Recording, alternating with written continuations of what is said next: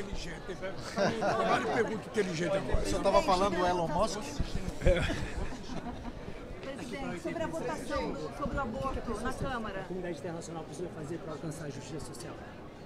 Olha, nós temos muitos problemas. Ou seja, o que nós ficamos tristes é que uma região do planeta que criou o Estado de Bem-Estar Social, que foi a União Europeia, vive agora a cada tempo tendo uma guerra. Ou seja, a guerra não ajuda, a guerra só atrapalha.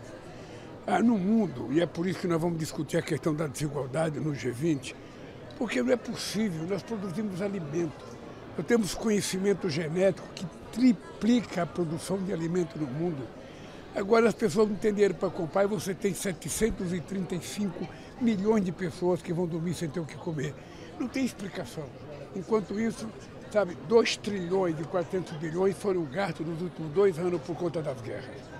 Então, se os dirigentes políticos compreenderem que a coisa mais barata que existe no mundo é cuidar dos pobres, a coisa mais barata é dar aos pobres a oportunidade de trabalhar, de estudar e de viver às custas do seu sacrifício, a gente vai mudar o planeta. Se não, tende a crescer a desigualdade.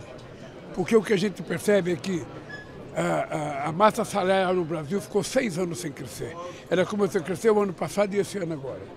Porque se, se você não coloca as pessoas pobres dentro do orçamento, ninguém coloca. Então é um desafio do mundo, é um desafio não é para o continente africano, é para o Brasil, para a América Latina toda, para alguns países asiáticos. Então é por isso que nós colocamos no G20 o tema da luta contra a desigualdade, a pobreza e a fome como tema principal, para ver se a gente consegue construir uma coalizão capaz de a gente assumir um compromisso de não ter mais fome no mundo daqui a alguns anos. Sobre a pauta do aborto, aborto, aborto ontem na Câmara começou. Daqui, deixa, eu, falar- deixa eu falar uma coisa para você. Você acha que não é, não é, não é justo, eu acabei de ser até vir falar de uma coisa que está sendo discutida na Câmara. É, deixa eu voltar para o Brasil, tomar pé da situação, aí você pergunta e eu falo com você. Obrigado, Mas o pessoal. senhor do o ministro Juscelino teve já uma conversa com ele? Não, não tive, não tive. Não tive eu fiquei sabendo ontem. Obviamente que eu também não tenho essa pressa de, de- de, sabe? Quando eu voltar, depois do G7, eu vou sentar e vou descobrir o que aconteceu de verdade. Se ele, e uma conversa franca com ele, porque eu digo para todo mundo, só você sabe a verdade.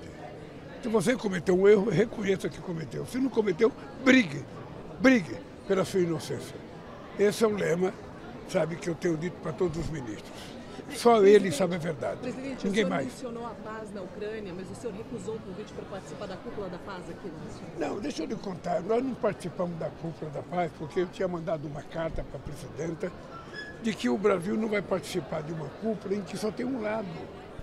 É, é, o- A guerra são feitas por duas nações, ou seja, se você quiser encontrar paz, você tem que colocar os dois numa mesa de negociação. Mas você coloca só um lado, você não, não, não quer paz. Na verdade, você não quer paz. Então eu disse para o presidente da Suíça que o Brasil tem todo interesse, estamos à disposição, já conversamos com a China. Essa semana mesmo o Putin me ligou, eu mostrei para ele a necessidade da gente encontrar uma solução, sentar numa mesa de negociação e parar de matar para que as pessoas comecem a trabalhar e viver sua vida. Obrigado. depois. Uma entrevista com o presidente Zelensky, a gente teve uma conversa com ele há quatro semanas. E ele admitiu, ele e assessores dele admitiram que eles erraram com a América Latina. Eles souberam conversar com a América Latina direito. Mas, por outro lado, eles não entendem essa defesa que o senhor faz às vezes do Putin. Não, não faço a defesa do Putin. O Brasil foi o primeiro país a criticar a Rússia pela invasão do país. O que eu não faço é ter lado. O meu lado é a paz. O meu lado não é ficar do lado do Zelensky contra o Putin, do lado do Putin contra o Zelensky. Então é o seguinte, o Brasil, o Brasil tem uma posição definida. Nós estaremos dispostos a participar de qualquer reunião que discuta paz, se tiver os dois conflitantes na mesa. Se tiver Rússia e, e Ucrânia. Sabe? Porque senão não é discutir paz. Presidente, Ainda que ceda territórios, ainda que ceda territórios para a Rússia. Ainda que ceda territórios para a Rússia, Crimeia, eu, Donbass. eu acho que tem que ter um acordo.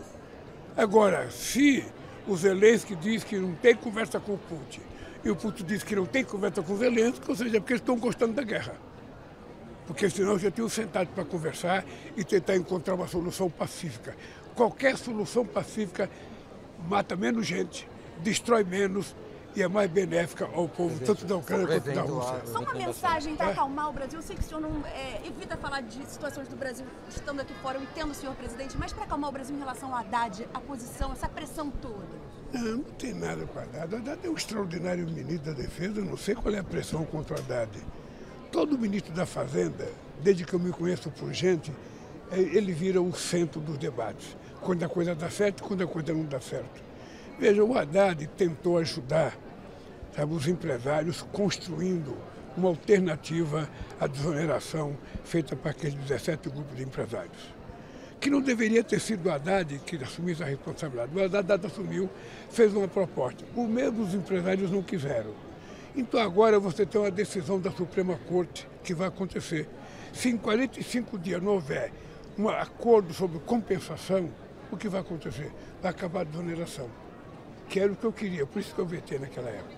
Então agora, a bola não está mais na mão do Haddad. A bola está na mão do Senado e na mão dos empresários. Encontre uma solução. O Haddad tentou, não aceitaram, agora encontre uma solução. Obrigado, pessoal. Obrigado.